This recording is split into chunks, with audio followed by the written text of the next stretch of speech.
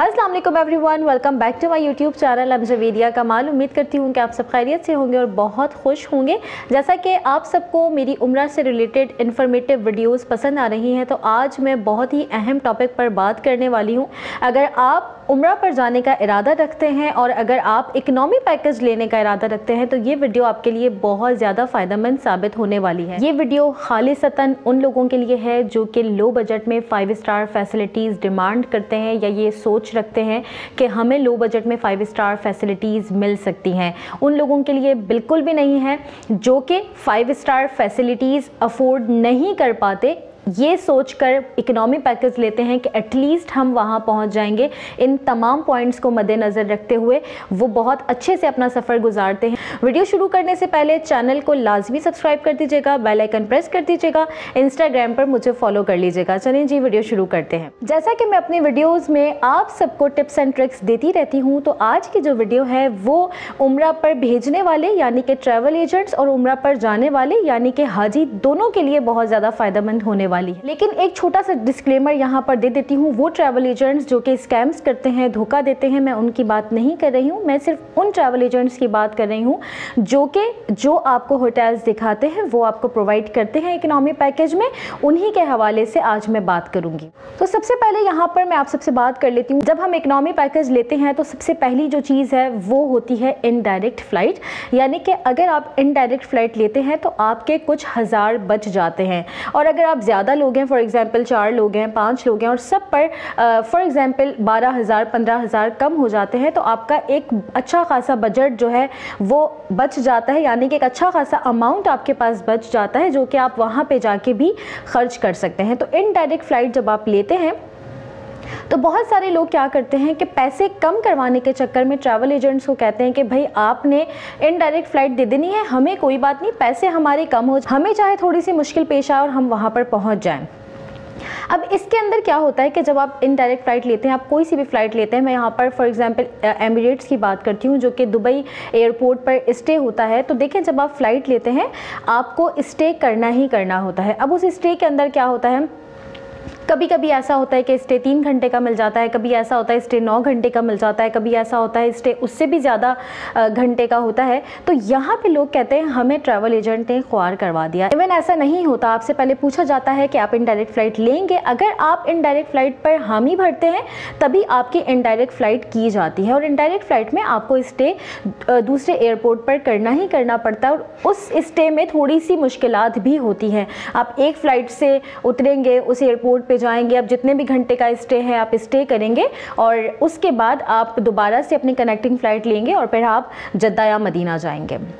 दूसरा जो पॉइंट है वो होता है ट्रांसपोर्ट सर्विस यानी कि जब आप यहाँ से जाते हैं तो आपके पास दो तरह के ऑप्शंस होते हैं। अगर जो आपका बजट बहुत अच्छा है तो आप प्राइवेट टैक्सी ले सकते हैं वो भी आप ट्रैवल एजेंट्स के थ्रू ले सकते हैं। नहीं तो दूसरा ऑप्शन इकोनॉमी पैकेज में ये होता है कि आप ले, लेते हैं वहाँ पर बस सर्विस यानी कि जो आपकी ट्रांसपोर्ट सर्विस होती है वो होती है बस के थ्रू बस के थ्रू किस तरह? जैसे कि आप जद्दा एयरपोर्ट पर उतरे अब जद्दा एयरपोर्ट से मक्का तक वो बस आपको लेकर जाएगी। जब मक्का में आपके जो भी दिन हैं वो आप क़याम पजीर कर लेंगे तो उसके बाद वो आपको वहाँ से लेकर जाएगी मदीना।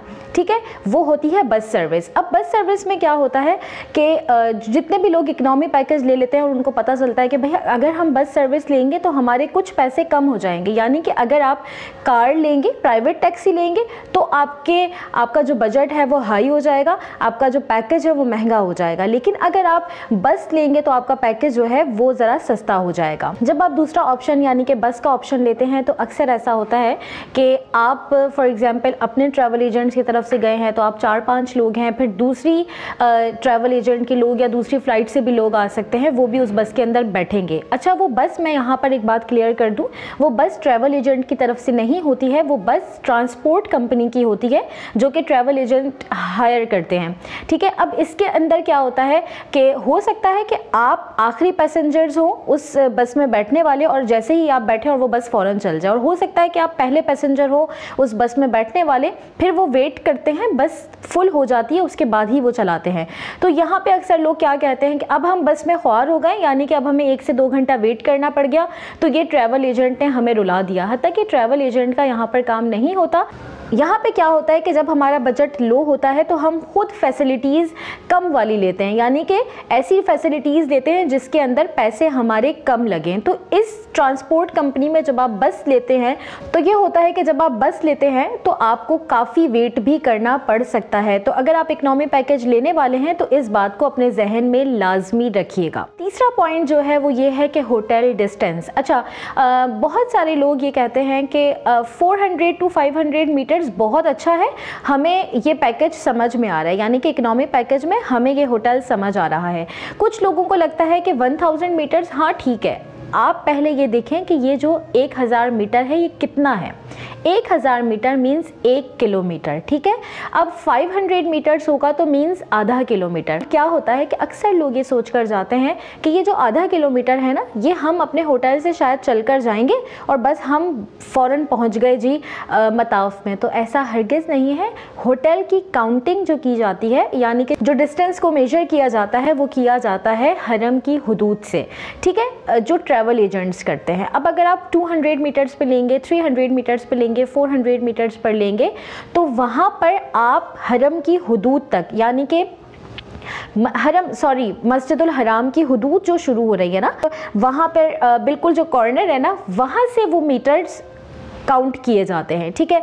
अब जैसा कि यहाँ पे अगेन मैं कह दूँगी मैं उन ट्रैवल एजेंट्स की बात हरगिज़ नहीं कर रही हूँ जो 500 मीटर कह के 800 मीटर 900 मीटर पे होटल्स देते हैं। नहीं, मैं यहाँ पे उनकी बात कर रही हूँ जो 500 मीटर कहते हैं और आपको 500 मीटर ही देते हैं। लेकिन यहाँ पे लोग कहते हैं कि भाई ट्रैवल एजेंट ने हमें बहुत रुला दिया क्योंकि हमें बहुत चलना पड़ता है। तो देखें वहाँ पर चलना तो आपने आपको पड़ेगा ही पड़ेगा। और बहुत सारे लोग क्या करते हैं, वो अपना पैकेज लिया, उसके बाद वो गूगल मैप पर जाते हैं, अपने होटल का नाम लिखते हैं, मस्जिद हराम लिखते हैं, और फिर देखते हैं कि कितना डिस्टेंस है। तो वो डिस्टेंस आपको दिखाता है मताफ से। अगर आप गूगल मैप पर सर्च करना चाहते हैं तो अभी आप जाए और गूगल मैप पर सर्च करें दी ओब्रॉय मदीना जो कि मस्जिद नबी से बिल्कुल टच है। ज़ीरो मीटर होटल है वो फाइव स्टार होटल है, लेकिन वो भी आपको दिखाएगा तकरीबन एक किलोमीटर, क्योंकि वो रोज़ा रसूल से दिखाता है। तो जब ओब्राय मदीना से चल के जाते हैं, रोज़ा रसूल पे तो इतना ही डिस्टेंस है, यानी कि आपको बहुत ज़्यादा चलना पड़ेगा। तो आपने गूगल मैप पर तो बिल्कुल रिलाय नहीं करना है। हाँ बहुत सारे ट्रैवल एजेंट्स यहाँ पर इस बात का फ़ायदा भी उठाते हैं, लेकिन मैं अगेन कहूँगी, मैं उनकी बात कर रही हूँ, जो कि 500 मीटर्स का बोल के आपको 500 प्रोवाइड करते हैं।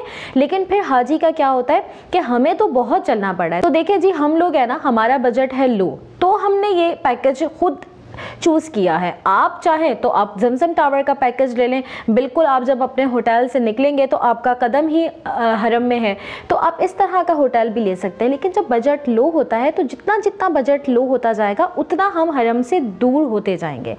इकनॉमी पैकेज में ऐसे होटल्स भी प्रोवाइड किए जाते हैं जो कि शटल सर्विस के होते हैं। यहाँ पे मैं उनकी भी बात कर लेती हूँ। बहुत सारे लोग ये समझते हैं कि शटल सर्विस का क्या मतलब है कि शटल सर्विस हमें अपने होटल से लेगी और हमें हरम में उतार देगी। तो ऐसा बिल्कुल नहीं है। शटल सर्विस भी आपको एक पॉइंट पे उतारती है और उस पॉइंट से भी आपने चल कर जाना पड़ता है। चल के जब आप जाएँगे तो काफ़ी चलने के बाद आप मस्जिद और हराम में एंटर होंगे, ठीक है? जब एंटर होंगे, उसके बाद अब आपने आपने कहाँ जाना है? आपने मताफ में जाना है, आपने नमाज़ पढ़नी है, आपने अंदर जाना है, जो भी आपने वहाँ करना है, वो डिस्टेंस मस्जिद और हराम में एंटर होने के बाद काउंट किया जाएगा। ठीक है?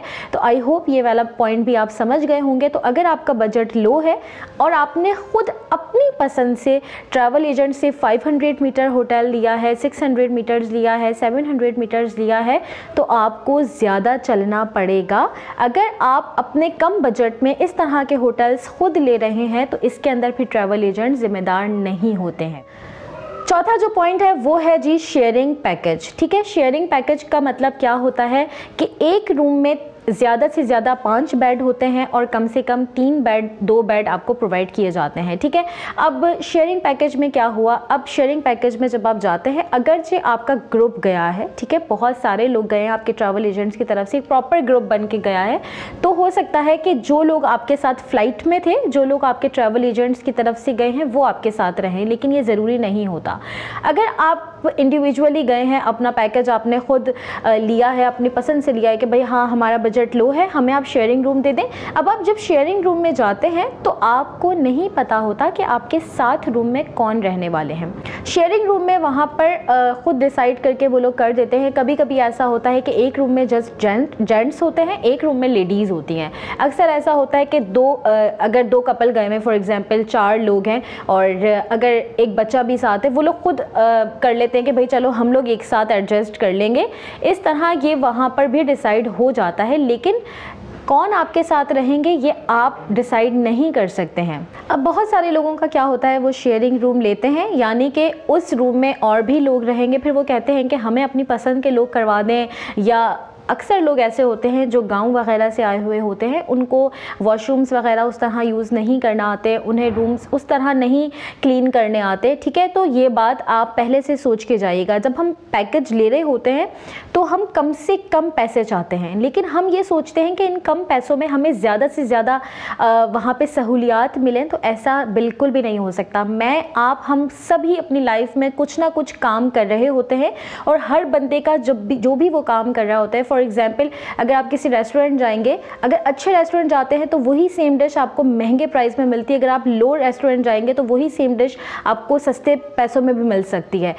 अगर आपने बहुत अच्छी चीज़ घर पे पकानी होती है तो आपको ज़्यादा से ज़्यादा बजट जो है वो आपको ज़्यादा से ज़्यादा पैसे खर्च करने पड़ते हैं, ज़्यादा से ज़्यादा ग्रोसरीज करनी पड़ती हैं, तब जाके वो एक अच्छी डिश तैयार होती है। नहीं तो नॉर्मल से आप दाल चावल भी बना सकते हैं, वैसे तो वो भी अब बहुत महँगे हैं, लेकिन मैं आपको ये बात बता रही हूँ कि जितनी आपने सहूलियात लेनी है, आपको उतने पैसे खर्च करने पड़ेंगे। अगर आपने शेयरिंग रूम लिया है, आपको शेयरिंग रूम प्रोवाइड किया जाएगा, उसके अंदर ये नहीं होता कि हमें रूम चेंज बार बार करना है या उसके अंदर ये नहीं होता कि वो फ़ला शख्स जो हमारे साथ है, उसके साथ कुछ प्रॉब्लम्स हो सकती हैं। जैसे कि यहाँ पर मैं एक बात करना चाहूँगी, पिछले दिनों एक बहन गई हुई थी और उनको यह एतराज़ था कि वो एक जो लेडी थी उनके साथ, वो ऐसी थी जो कि ख़ुद उठ बैठ नहीं सकती थी तो उनका बेटा रूम में आता था। तो देखिए, यहाँ पे क्या है? अब ज़ाहिर सी बात है, अगर कोई बेटा अपनी माँ को लेकर आया है तो उसे ये बात पता है कि मैं इतना अफोर्ड नहीं कर सकता कि अपनी माँ के साथ एक टू बेड का रूम ले लूँ, ठीक है? उसने तभी अपनी माँ को एक अलग रूम में रखा हुआ है, वो खुद एक अलग रूम में है। लेकिन अगर माँ नहीं उठ बैठ सकती है खुद तो ऑब्वियसली वो उस रूम में आएँगे और लेकर जाएँगे। बहुत सारी बातों का हमें ख्याल रखना पड़ता है, जैसा कि जब हम एक फैमिली होती है, अगर हम एक फैमिली में भी चार से पाँच लोग हैं, हम सबके माइंड सेट अलग होते हैं, हम सबकी बातें अलग होती हैं, हम सब अलग तरह की चीज़ें चाह रहे होते हैं तो अक्सर हमारे बीच भी जो है वो ज़िद बहस हो जाती है। तो बहुत सारी चीज़ों पर हम कॉम्प्रोमाइज़ करते हैं। इसी तरह अगर आप शेयरिंग रूम लेंगे, वहाँ पर आपको कॉम्प्रोमाइज़ करना पड़ेगा, वहाँ पर आपको एडजस्ट करना पड़ेगा। और अगर आप दो लोग हैं तो आपके लिए बेटर ऑप्शन ये है कि आप पैसे ज़्यादा खर्च करें और डबल बेड का रूम ले लें। अगर आप तीन लोग हैं तो आप ट्रिपल बेड का रूम ले लें। अगर आप पाँच लोग हैं तो फिर आपके लिए ये पैकेज बहुत अच्छा रहेगा कि आपको शेयरिंग पैकेज भी हो जाएगा और आप पाँच लोग भी हो जाएँगे। आई होप ये वाला पॉइंट भी मैं क्लियर कर पाई हूँ। पांचवा जो पॉइंट है वो है कंबाइंड वॉशरूम यानी कि अगर आप शेयरिंग रूम लेंगे, एक ही एक वॉशरूम एक रूम में प्रोवाइड किया जाता है। यानी कि जब आप शेयरिंग रूम लेंगे तो उसमें ही एक अटैच बात होगा। आप सबको वही यूज़ करना होगा। अब उसके अंदर सबने अपनी अपनी टाइमिंग्स बनाई हुई होती हैं। आप एक दो दिन बाद सेट हो जाते हैं तो आप टाइमिंग बना लेते हैं, आप देख लेते हैं। लेकिन इसके अंदर आप किसी को ये नहीं कह सकते कि भाई फ़ला शख्स को वॉशरूम यूज़ सही नहीं करना आता। आप किसी को समझा सकते हैं, लेकिन यहाँ पर एडजस्ट आपको करना पड़ेगा। ये बात आप अपने बजट के हिसाब से ही सोचें कि मेरा बजट लो है तो ही तो मैंने ऐसी फैसिलिटीज़ ली हैं। अगर मेरा बजट हाई होता है, अगर हम दो लोग हैं फॉर एग्ज़ाम्पल और बजट हाई है तो हम डबल बेड का रूम लेंगे तो वॉशरूम सिर्फ़ हमारे पास होगा। अक्सर लोग क्या करते हैं कि हम शेयरिंग पे तो हैं, लेकिन हमें वॉशरूम अलग करवा दें तो ऐसा बिल्कुल नहीं हो सकता। कंबाइंड वॉशरूम मीन्स कि उस रूम में रहने वाला हर फर्द वही वाला वॉशरूम यूज़ करेगा। तो आप खुद एडजस्ट करें कि किस तरह आपको एडजस्ट करना है। आप अपने हिसाब से रह सकते हैं, लेकिन आप किसी और को अपनी चीज़ें नहीं कर सकते कि मुझे आप पसंद नहीं है या मुझे आपका वॉशरूम यूज़ करना पसंद नहीं है या कुछ भी एक्स वाई जी हमें इस तरह एडजस्ट करना पड़ेगा। क्यों? क्योंकि हमने अपने बजट के हिसाब से ये पैकेज लिया है। तो आई होप ये पॉइंट भी मैं क्लियर कर पाई हूँ। छठा पॉइंट जो है हमारा वो है रूम की सफ़ाई। अच्छा क्या होता है कि होना तो चाहिए है बेसिकली यही होना चाहिए है कि जब हम कोई रूम लेते हैं तो हमारा पर डे का जो भी रेंट होता है उसके अकॉर्डिंग हमें डेली बेसिस पर सफ़ाई सफ़ाई मिलनी चाहिए। लेकिन वहाँ पर मैंने फाइव स्टार होटल्स भी देखे हैं, वहाँ पर भी डेली बेसिस पर सफ़ाई नहीं होती है। और अगर आप करवा सकते हैं, लेकिन उसके लिए क्या होता है कि आपको उस टाइम में, उस रूम में होना ज़रूरी होता है। अब क्या होता है कि नमाज़ों के टाइम होते हैं आना जाना करना होता है तो ऐसा नहीं हो सकता स्पेशली इकनॉमी पैकेज की मैं बात कर रही हूँ, उसके अंदर बिल्कुल भी ऐसा नहीं हो सकता कि डेली बेसिस पर आपकी बेडशीट्स चेंज होंगी डेली बेसिस पर आपके पिलो कवर्स चेंज होंगे, ऐसा बिल्कुल भी नहीं होगा। तो बहुत सारी चीज़ें ऐसी होती हैं कि जो कि हम वहाँ पे घर नहीं हमने बसाना है। हमने क्या करना है कि जाना है, हरम जाना है, वापस आ जाना है, सो जाना है। होटल का असल मकसद वहाँ पे जो यूज़ होता है, वो होता है सोने के लिए, ठीक है? आराम करने के लिए। ये बात आप खुद समझ कर जाइएगा कि अगर हमारा बजट लो है तो हमारी फैसिलिटीज़ भी लो होंगी, ठीक है? और वैसे भी हमने क्या करना है, जब हम उठते हैं ये आदत तो शायद सब नहीं होगी, अपने घर में भी हम यही करते हैं कि जब हम उठते हैं तो बिस्तर बनाते हैं, यानी कि बेडशीट सही करते हैं, जो कंबल लिहाफ जो भी होता है, उसको भी लपेट के सही करके रख देते हैं तो आप बस ये चीज़ें कर लें। नॉर्मल से आपका जो भी लगेज है, उसको भी आप इतना मेस्टअप ना होने दें तो आपका रूम वैसे भी क्लीन ही लगेगा। सातवां पॉइंट जो है, वो है फाइव स्टार फैसिलिटीज़ अच्छा फाइव स्टार होटल्स में क्या होता है कि जब आप जाते हैं, आपको एक पानी की बॉटल भी प्रोवाइड कर दी जाती है। अक्सर होटल्स में जो है जो कि बहुत ज़्यादा महँगे वाले होटल्स हैं, उनके अंदर माइक्रोवेव ओवन होता है, उनके, उसके अंदर कैटल होती है इलेक्ट्रिक कैटल होती है। इस तरह की जो फैसिलिटीज़ होती हैं, ये इकनॉमी पैकेज में आपको बिल्कुल भी नहीं मिलने वाली हैं। तो अगर आप ये बात सोच के जा रहे हैं कि मैं लो बजट भी मैं लो बजट भी रखूँ, लेकिन चीज़ें मुझे फाइव स्टार मिले हाई बजट वाली मिले तो ऐसा बिल्कुल भी नहीं होगा। आपको इकोनॉमी पैकेज में कोई भी ऐसी फैसिलिटीज़ प्रोवाइड नहीं की जाती हैं, जो कि लग्जरी पैकेज में आती हैं, यानी कि महँगे पैकेजेस में आती हैं। इकोनॉमी पैकेज में आप कोई भी फाइव स्टार फैसिलिटीज़ की डिमांड नहीं कर सकते अपने ट्रैवल एजेंट से कि आपने हमें रुला दिया। ऐसा नहीं होता। आप अगर लो बजट में फैसिलिटीज़ लेंगे तो फैसिलिटीज़ भी लो ही होंगी। आठवां पॉइंट जो है, वो है सिंगल बेड ठीक है? सिंगल बेड यहाँ पे मैं एक और बार आपको समझा देती हूँ। जैसा कि कुछ दिन पहले एक गई हुई थी खातून, वो अपनी बेटी को साथ लेकर गई तो उनका था कि मेरी बेटी नीचे सोती है। वो बात उनको पहले बता दी गई थी कि सिंगल बेड मिलता है। अगर आप एक बेड लेंगे तो एक ही बेड मिलेगा। अब आपकी बेटी, आप कहाँ उसको सुलाते हैं? फॉर एग्ज़ाम्पल आप किसी को भी बच्चे को साथ लेके गए। अगर आपके लिए वो बच्चा है, आपको लगता है हम साथ सो जाएँगे तो ये आपको पता है कि आप उस बच्चे को एडजस्ट कर सकते हैं बेड पे अपने साथ या नहीं कर सकते, लेकिन सिंगल बेड होता है। अब आप देखें, सिंगल बेड हमारे यहाँ किस तरह के होते हैं? वैसा ही एक सिंगल बेड प्रोवाइड किया जाता है। सिंगल पिलो होता है, सिंगल ब्लैंकेट होती है, यानी कि आपको एक सिंगल बेड दिया जाएगा। अगर आप शेयरिंग रूम पर जा रहे हैं, एक बेड ले रहे हैं तो एक ही बेड प्रोवाइड किया जाएगा। आपको अलग से कोई भी बेड प्रोवाइड नहीं किया जाता। तो इस तरह की चीज़ें आपने पहले से सोच कर ही जानी है। अगर आप अपने साथ किसी भी ऐसे बच्चे, बच्ची को लेकर जाते हैं जो आप सोचते हैं कि ये छोटा है, छोटी है, मैं अपने साथ एडजस्ट कर लूँगी। जाने के बाद, पहुँचने के बाद आप किसी भी ट्रैवल एजेंट कहीं से भी आप गए हैं, आप किसी भी ट्रैवल एजेंट को ये नहीं कह सकते कि मैं अपनी बच्ची की वजह से मुश्किल उठा रही हूँ। आप अपने लो बजट की वजह से ये सोचते हुए गए कि हम अपने बच्चे को अपने साथ एडजस्ट कर लेंगे तो आपको एडजस्ट करना होगा। वहाँ पर ऐसा नहीं होता कि लो बजट में आपको फैसिलिटीज़ हाई प्रोवाइड की जाए। नवा जो पॉइंट है वो specially economy package economy plus package वालों के लिए इसलिए है क्योंकि फाइव स्टार वालों का क्या होता है, वो जब अपने होटल से उतरते हैं, उतरते ही वो फ्रेश होते हैं और वो हरम के अंदर एंटर हो जाते हैं और फिर वो मताफ में चले जाते हैं। लेकिन इकनॉमी पैकेज अगर मैं शटल सर्विस पैकेज की बात करती हूँ, अब क्या होता है कि पहले होटल से निकले शटल सर्विस में बैठे शटल सर्विस पॉइंट पे उतारेगी, फिर उस पॉइंट से चल कर गए और फिर हरम में जब एंटर होते, तब तक इंसान थोड़ा बहुत थक चुका होता है और फिर ये बोलता है कि मैं इतना चला हूँ क्योंकि ट्रैवल एजेंट ने रुला दिया। ऐसा नहीं है। अगर आपने इकनॉमी पैकेज लिया है, आपने शटल सर्विस का पैकेज लिया है तो आपको खुद एडजस्ट करना होगा। इन पैकेजेस में, यानी कि इकनॉमी पैकेज में इकनॉमी प्लस पैकेज में आपको बहुत ज़्यादा चलना पड़ता है।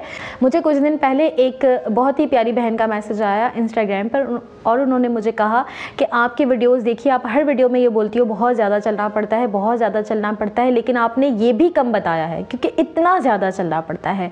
तो अगर आपने मेरी वीडियो नहीं देखी तो यहाँ पर मैं एक बात अगेन कर देती हूँ कि अगर आपको इतना सा भी चांस है कि आपने उम्र पे जाना है या आपने नियत की है, आपको एक महीने बाद, दो महीने बाद, तीन महीने बाद, जब कभी है कि मैंने उम्र पे जाना है, कोई भी तैयारी करने से पहले आपने वॉक शुरू कर देनी है। क्योंकि वहाँ पे जाके आपने सिर्फ़ चलना ही चलना तो अगेन बात कर दूँ बहुत सारे लोगों का ये होता है कि भाई ट्रैवल एजेंट की वजह से चल रहे नहीं, हम ट्रैवल एजेंट की वजह से नहीं चल रहे होते, हम अपने लो बजट की वजह से चल रहे होते हैं। आई होप ये बात भी मैं क्लियर कर पाई हूँ, लेकिन यहाँ पे अगेन कहूँगी, मैं उन ट्रैवल एजेंट्स की बात नहीं कर रही जो गलत बयानी करते हैं। मैं उन ट्रैवल एजेंट्स की बात कर रही हूँ जो कि जो दिखाते हैं वो प्रोवाइड करते हैं। जो दसवां पॉइंट है मेरा, वो है मेडिसिन फ्री मेडिसिन जैसा कि हम सबको पता है कि मक्का और मदीना में फ्री कैंप्स होते हैं, हाजी कैंप्स कहा जाता है उनको। और जैसा कि जब ऐसा मौसम होता है ना जैसे कि अभी मौसम चेंज हो रहा है, सर्दी हो रही है और किसी वक्त ऐसा होता है कि गर्मी से सर्दी हो रही होती है, सर्दी से गर्मी हो रही होती है तो इस वक्त लोग ज़्यादा बीमार होते हैं।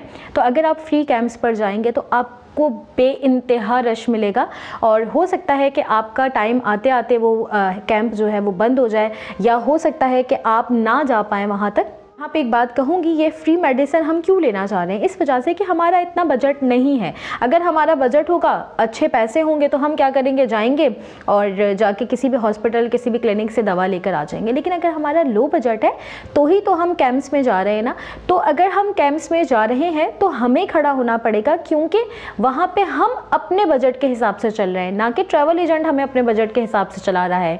तो अगर आप फ्री मेडिसिन लेने जा रहे हैं, अगर आप फ्री मेडिसिन की लाइन में खड़े होते हैं, आपको चलना पड़ता है, आपकी तबीयत ख़राब होती है, तबीयत ख़राब वहाँ पे जाके हो ही जाती है क्योंकि ऐसा होता है ना कि पानी चेंज होता है, हवा चेंज होती है तो नज़ला, बुखार डिहाइड्रेशन हो जाती है, इतना ज़्यादा पानी नहीं पिया जाता है। तो इस तरह की जो चीज़ें हैं, वो हो जाया करती हैं। आप बीमार भी हो जाते हैं, लेकिन इसमें ट्रैवल एजेंट का कोई कसूर नहीं होता। अगर आप अफोर्ड कर सकते हैं तो आप जाकर मेडिसिन ले लें, नहीं अफोर्ड कर सकते बेस्ट तो ये है कि आप अपने साथ इस तरह की दवाइयाँ लेकर जाए ताकि आपको वहाँ पर ये मुश्किल पेश ना आए ना तो आपको रियाल में दवाइयाँ ख़रीदनी पड़े और ना आपको फ्री कैम्प्स के लिए इतना ज़्यादा वेट करना पड़े। आई होप ये जो दस पॉइंट है ये समझा पाई हूँ क्योंकि ये हम सबके लिए बहुत ज़्यादा ज़रूरी है। जब हम इकनॉमी पैकेज लेते हैं हम एक लो बजट चीज़ ले रहे हैं ठीक है? हमें मालूम है कि हम एक लो बजट चीज़ ले रहे हैं उसके अंदर हम एक हाई बजट की चीज़ कैसे डिमांड कर सकते हैं? किसी से भी आ, किसी भी प्रोफेशन में किसी भी जगह पे हम इस तरह नहीं कर सकते। Economy budget means no five star facilities ठीक है? ये बात आप अपने जहन में बिठा लें। आप दुनिया में कहीं से भी जा रहे हैं, आप पाकिस्तान से, इंडिया से यूके से न्यूयॉर्क से कहीं से भी जा रहे हैं। आपने अगर फैसिलिटीज़ अच्छी लेनी है, यानी कि फाइव स्टार फैसिलिटीज़ लेनी है तो आपको अपना बजट फाइव स्टार ही करना होगा। अगर आपने इकनॉमी पैकेज लेना है लो बजट लेना है तो आपको लो फैसिलिटीज़ ही मिलेंगी। फाइव स्टार फैसिलिटीज़ हर गिस्त नहीं मिल सकती। इस वक्त रेट जो है वो टिकट का भी बहुत हाई है वीज़ा भी बहुत हाई है तो उसके बाद कुछ अमाउंट होता है जिसके अंदर ट्रैवल एजेंट आपको लो बजट में दूर जो शटल सर्विस वाले होटल्स होते हैं या जो इकनॉमी प्लस होते हैं या, यानी कि five to six hundred metres वाले होटल प्रोवाइड कर देते हैं जो कि एक अच्छा खासा बजट है। ये वीडियो ख़ास तौर पर उन लोगों के लिए है जो कि इकनॉमी पैकेज में लो बजट में फाइव स्टार फैसिलिटीज़ डिमांड करते हैं या ये बात सोच के जाते हैं कि हमें फाइव स्टार फैसिलिटीज़ मिल सकती हैं लो बजट में। उन लोगों के लिए बिल्कुल भी नहीं है जो कि अच्छे से सेटिस्फाई होते हैं इस चीज़ पे कि जितने पैसे हमने खर्च किए हैं, उतनी ही चीज़ हमें मिलेगी।